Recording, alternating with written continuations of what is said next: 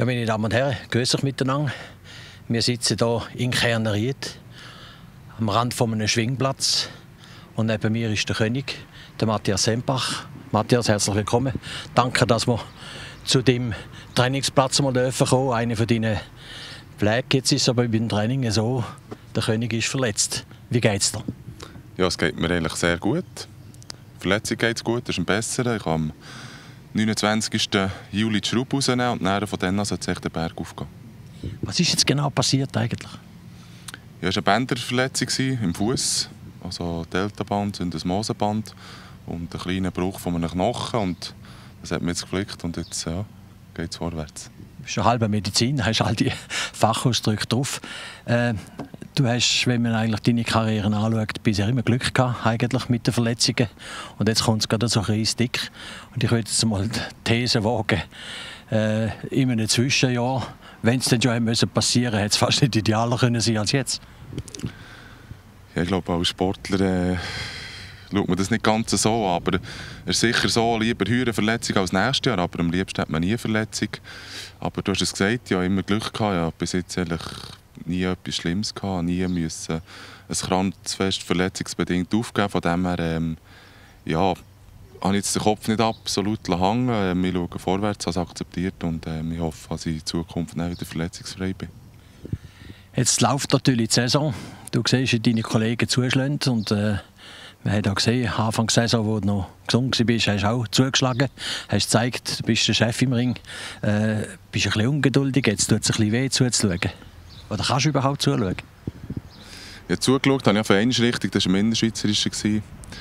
Ähm, bis jetzt habe ich daheim still natürlich auf den Live-Ticker verfolgt, habe ähm, Zeitungen gelesen und bin schon nach dabei gewesen, aber halt ähm, nicht live im Fest, weil ja, ich wäre nicht wohl gewesen, in den Krücken an die, an die Schwingfeste zu gehen und dann die Leute rein. Darum bin ich daheim geblieben. Und vielleicht werde ich noch eins bis zwei Schwingfeste besuchen, aber sonst werde ich mich sicher daheim stillhalten. Jetzt hat das auch einen Vorteil, du kannst dich um deinen Sohn kümmern. Hast du wahrscheinlich in den letzten paar Wochen jetzt seit der Verletzung äh, ein bisschen dürfen hüten, oder? Ja, es ist so. Ich war sicher äh, mehr daheim als sonst. Und das war sicher ja, vielleicht jetzt das Positive aus dieser Verletzung. Und ähm, ja, vor allem am Morgen konnte ich, ich viel Zeit mit ihm verbringen und das war schön. Aber geschwungen hat er noch nicht, Bodenkämpfe? Bodenkämpfe wir langsam an, er ist jetzt äh, siebeneinhalb Monate. Und ähm, ja, langsam kann man schon ein bisschen mit ihm schwingen. Jetzt, äh, die Saison läuft. Es ist eine Saison, wo Bergfest natürlich jetzt wahrscheinlich eher im Vordergrund rücken, weil keine grossen anderen Feste sind. Äh, die Bergfeste haben die eine gewisse Faszination für euch Schwinger? Ja, für mich ist jedes Fest ist etwas Spezielles und etwas Schönes, aber Bergfest sind eigentlich in den Bergen. Schon das ist speziell und etwas Schönes, in Natur aus. Nicht irgendwie ähm, in einem Quartier. Also es ist nur Voraussicht am Morgen, wenn man zu diesem Fest herfährt, ist es natürlich etwas Spezielles und etwas Schönes. Und an sich haben sie natürlich einen hohen Stellenwert. Also wenn man so einen Bergkranz macht oder eben ein Bergfest gewinnen kann, dann ist das eigentlich ähm, ein schöner Erfolg und macht einem schon stolz. Und ähm, es ist auch so, dass eigentlich immer nur die besten Schwinger in diesen Bergfest sind. Die Selektion ist, ist hart. Also es kann lange nicht jeder so ein Bergfest kommen. Von dem her ähm, macht die Sache schon spannend und sicher auch Kämpfe. Man kann eigentlich fast sagen, jeder Kampf ist eigentlich interessant und, und die Spitze ist, ist vor Ort und das macht echt die Bergfeste so speziell. So eine alle die Bergfeste mal können gewinnen in einer Saison. Das ist, glaube ich, meiner Sicht noch gar keinem gelungen. Du hast mittlerweile, wenn ich das richtig sehe, glaube ich, fünf Bergfeste gewonnen. Dreimal der Wiesenstein, seit der Kranzfest ist. Brüniger zweimal. Äh, sind da noch so ein bisschen Schwegalbstoß und die anderen Sachen eigentlich noch für dich äh, wichtig? Also, ich glaube, ich habe sechs gewonnen. Aber äh, nicht so schlimm. Du hast recht schwarz dabei, sorry. das war schon ein schönes Fest. Ja, das wäre auf jeden Fall ein Ziel, ja. Chagall bin ich schon nah dran gewesen, habe zwar im Schlussgang verloren. Stoss und Rigi bin ich noch nie im Schlussgang gewesen. Die habe ich einfach je besucht, also noch nicht manchmal. Habe den Kranz gewinnen. Aber ja, das, das bleibt sicher ein Ziel, aber ob ich es dann schaffe, das, das weiß ich natürlich nicht. Mir wird sicher auch nicht mehr manchmal die Chance bekommen. Also jetzt ein Stoss ja, ich gesagt, bin ja auf einmal gewesen. Vielleicht kann ich meine Karriere noch einmal gehen. Und sonst äh, ist es halt so. Ja, muss man vielleicht sagen, für die Leute, die jetzt da, äh, das Schwingen auch nicht so intim kennen, man kann nicht einfach an jedes Bergfest gehen, sondern äh, da wird also genau von der Verband zuteilt, wer da mal darf Gast sein oder so. Das ist ja so. Eigentlich Bernschwinger, die dürfen alle Jahre Brünig und eine Schwarze, die Nordwestschweizer alle Jahre zum Beispiel ein Weissenstein. Und dann wird mindestens eins bis zwei Feste werden diesen Verbänden zuteilt. Und ja, ähm, Jetzt ist eigentlich für mich schon verrückt, Weissenstein ist so viel nach von meinem Daheim, also 25 Minuten, dann bin ich dort oben, aber ich kann eigentlich das Fest nicht alle Jahre besuchen. Darum äh, freue ich mich auch umso mehr, wenn, wenn es auch wieder in einem Jahr möglich ist, das Fest zu besuchen. Und Weissenstein ist für mich ein Fest, das ich eigentlich, äh, wenn ich es kann besuchen kann, immer auch besuche. Du hast gesagt, es ist auch näher, aber was macht der Weissenstein für dich aus? Also ich muss sagen, jedes Bergfest ist schön. Jedes ist speziell und was mir am Weissenstein schon gefällt, ist, dass es, ähm, dass es eigentlich so, dass man viel Platz hat. Zum Beispiel im Brünig ist man sehr eingegangen und im Weissenstein ist das das Gegenteil. Also hier hat wirklich sehr viel Platz. Nicht nur die Schwinger, auch die Zuschauer.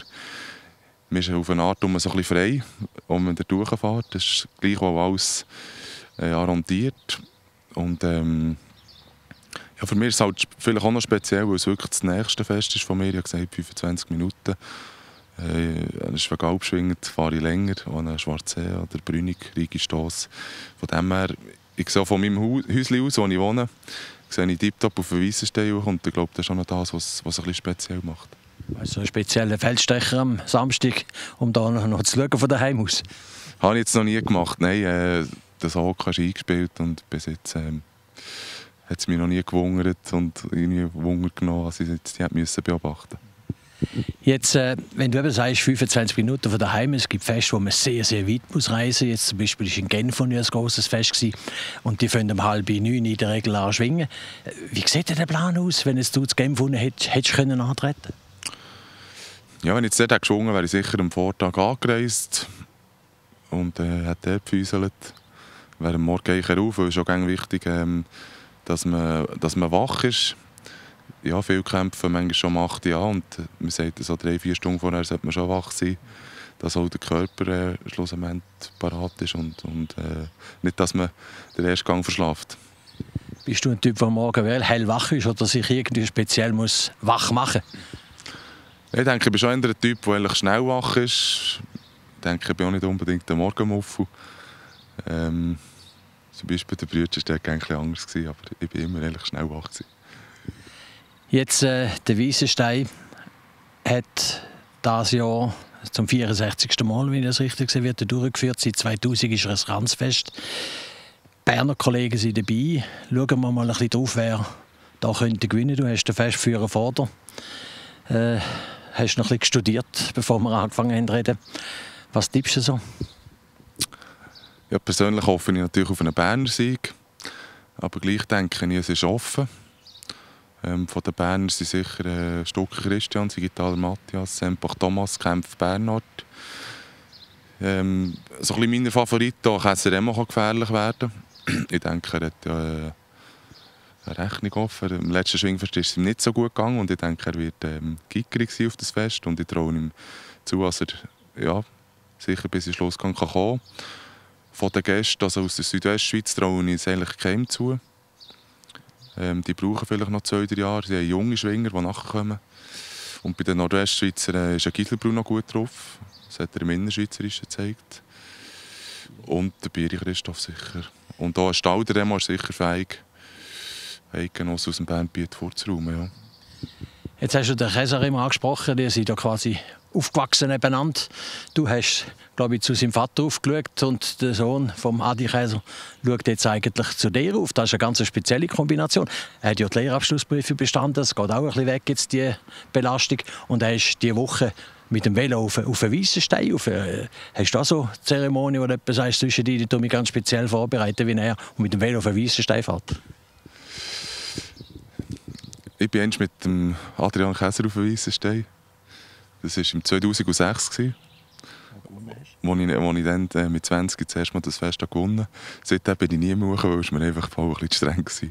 Aber ähm, es ist irgendwie abergläubisch oder irgendwie ein Ritual, das ich jetzt irgendwie ähm, immer würde machen würde, wenn ich in ein Fest gehe. Vor dem Fest, das habe ich eigentlich nicht. Und, aber vielleicht bringt es auch immer Glück, ja, wer weiß. Hast du den Tipp gegeben? Nein, er ist äh, selber drauf gekommen. Jetzt, äh, wenn du eben sagst, äh, so einem Fest, die Schwingen sind ja sehr nah beim Publikum, sehr offen, es gibt nicht irgendwie eine abgesperrte Zone, wo die drin sind. Wie schwierig ist es denn so, sich zu konzentrieren? Jeder kommt grüezi sagen wahrscheinlich. Jeder will auf die Schulter klopfen. Dann, wenn du ab dem Platz kommst, äh, weiss ich ein Autogramm.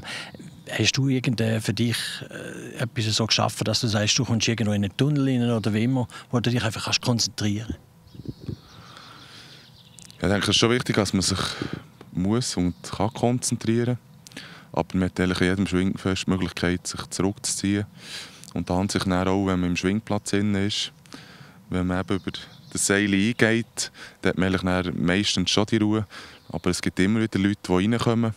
Aber ähm, im Großen und Ganzen ähm, klappt das eigentlich gut und die Leute wissen eigentlich auch, dass man, dass man innerhalb von dem Seil eigentlich nicht viel zu suchen hat. Und das ähm, ja, klappt das eigentlich meistens. Und ähm, ich muss sagen, ich bin noch nie gross gestört worden in der Vorbereitung. Jetzt äh, ein Zwischenjahr für dich, verletzungshalber auch. Es gibt eine gewisse Komfortzone. Du hast viel Erfolg gehabt, König geworden, du hast den Kirchberg gewonnen und so weiter. Manchmal kommt wahrscheinlich die Versuchung, ja, es ist ja gut gelaufen, aber man muss immer noch mehr Gas geben. So die Komfortzone können wieder zu verlieren, sich zu plagen, ist das schwierig? Ja, ich denke, eine gewisse Schwierigkeit ist sicher schon dahinter. Ähm, so Erfolge ja, geben eine gewisse Zufriedenheit und dann muss man aber schon wieder ähm, ja, neue Ziele stecken, dass man motiviert ist, zu trainieren. Und ich denke, das ist dann wichtig, dass manchmal jemand aus dem Umfeld, das bei mir ist der Trainer Jean-Pierre Ecker, der mich manchmal wieder äh, ein bisschen plagt und sagt, so Böstchen, äh, es geht vorwärts und ähm, müssen weiterhin hart trainieren. Aber ich denke, es ist schon in mir selber drin. Oder bis jetzt hatte ich eigentlich nie irgendwie ein Motivationsproblem gehabt. Aber es hat sicher schon den einen oder anderen Moment gegeben, wo ich ein zufrieden war und was mir gut tat, dass mir einer gesagt hat, so, jetzt geht es vorwärts und ähm, musst wieder hart trainieren. Ja, wenn auch in Zukunft noch Erfolg haben ja. Jetzt hast du Jean-Pierre angesprochen, das ist dein Athletiktrainer. Äh, du hast dich auch eine ganz bestimmte Person als Bezugsperson schwingtechnisch. Ja, ich eigentlich immer wieder. Ich habe auch das Glück, dass wir im Schwingclub Kilper Leute haben, die ich immer wieder zurückgreifen kann. Aber in den letzten vier, fünf Jahren habe ich auch versucht, eigentlich meinen eigenen Weg zu gehen. Äh, möglichst an mir selber zu arbeiten. Und ich denke, so schlecht ist das nicht weil ich als Athlet spüre eigentlich am besten, was zu mir passt und was nicht. Aber es ist so, dass ich auch immer natürlich wieder Leute frage und ab und zu Leute auf mich zukommen und, und mir Tipp geben. Aber ich versuche eigentlich ähm, meistens selber an mir zu arbeiten. Du sagst, es gibt Leute, die einem Tipp geben, aber man glaube gut können unterscheiden. Eben, sind die Tipps wirklich einfach äh, etwas Wertvolles oder äh, du hast deinen Bruder, den Stefan, der auch näher dir steht, ein Remo Käser und so weiter, ist auch, äh, der viel mit dir trainiert. Das kommt mir zu mir vor, wenn man es fest gewinnt. Wird man meistens auf die Schulter gehoben. Macht man das eigentlich ab mit den zwei, die einem dürfen aufheben oder muss man einfach sicher gehen, dass der Erste, der springt, dich auf die Schulter nimmt? Wie geht das? Hast du eben Stefan und äh, der Remo sind eigentlich die beiden, die ich jetzt in den letzten Jahren nicht mehr gesehen habe, dass sie dich auf die Schulter hatten? Ja, das ist eigentlich schon etwas, was man abmacht. Jetzt zum Beispiel beim Eidgenöss ja nur zwei Platz rein dürfen. An sich auch ein Disney Schwingfest sind nicht viel mehr Leute zugelassen. Also eigentlich Zuschauer auch noch ein bisschen auf den Schwingplatz gesehen. Und an sich ähm, nimmt man natürlich Leute, die ihm nahestehen. Leute, die man gerne hat. Und ähm, eigentlich auch Leute ja, aus dem Club. Leute, die man mit ihnen zusammen trainiert die einem etwas verbindet. Und äh, meistens, wenn der Bruder rum ist, nehme ich sicher ihn und sonst nehme ich jemanden vom Club. Und ja, Meigenoss habe mich für den Remo entschieden. Ja. Der Remo ist auch einer, der jetzt hier das erste, das erste Mal in diesem Jahr einen König geschlagen hat. Äh, der Kilian Wenger. Also, der ist ein junger Bursch, 19 geworden, jetzt, wenn ich das richtig sehe. Äh, vor ein paar wenigen Tagen oder Wochen. Äh, das ist auch jemand, der nachwächst. Ja, ist ja so. Es ist, ist schön. Ich denke, es ist, ist wichtig. Also, ähm, neue Figuren nachkommen, die unseren Schwingsport prägen können, wo Fans und Zuschauer anziehen, wo der Sport attraktiv macht. Und er ist sicher jemand, der, der unserem Sport sehr gut tut. Ja. Es hat überhaupt, wenn man schaut, eigentlich einen Haufen Junge, die hier jetzt kommen, äh, Wiki und so, die Namen, die man alles hat. Also an der Talent fällt es nicht. Ja, es hat vielleicht eine Zeit lang ein bisschen gefällt, wenn man vielleicht denkt, so nach dem Kilian Wenger mit dem Jahrgang 90 ist eigentlich bis jetzt zu den 96er keine grosse Fähigkeit gewesen, uns Favoriten konstant ein Bein stellen. Und von dem bin ich eigentlich schon froh. Und ich denke, es tut am Sport gut, wenn jetzt äh, Namen wie Vicky, Käser, Giger nachkommen, die fähig sind, ja, konstant äh, zu schwingen und, und um die Festsiege mitzureden. Ja. Jetzt, wenn man bisschen vorwärts schaut, nächstes Jahr Titelverteidigung, etwas anderes kommt für dich sicher nicht in Frage. Oder man kann sagen, ja, es längt, wenn ich den Kanz mache, das wäre nicht der Anspruch, den man hat als Titelverteidiger. Ähm, wenn kannst du wieder richtig loslassen, das kannst du sagen, jetzt kann ich voll wieder trainieren?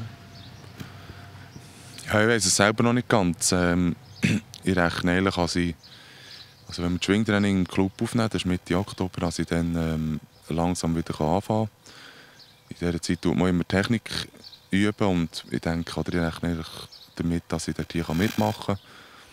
Und ähm, ja, wettkampfmässig werde ich sicher im Februar zurück sein. Danke für das Gespräch, Matthias. Auf dem Wiesenstein werden wir die nicht sehen, wenn ich die recht verstanden habe. Steht Familie im Vordergrund, äh, weil es wahrscheinlich auch ein bisschen mehr macht, dazu zu schauen, oder? Wenn man doch selber gerne würde mitschwingen. Danke, dass du uns die Zeit gegeben hast, hier. Bei dir dürfen, ein bisschen vorbeizukommen auf deinem Trainingsplatz in Kerneried. Und äh, wünsche dir alles Gute und auf nächstes Jahr. Auf dem Wiesenstein wieder. Und an Höhle Danke fürs Gespräch.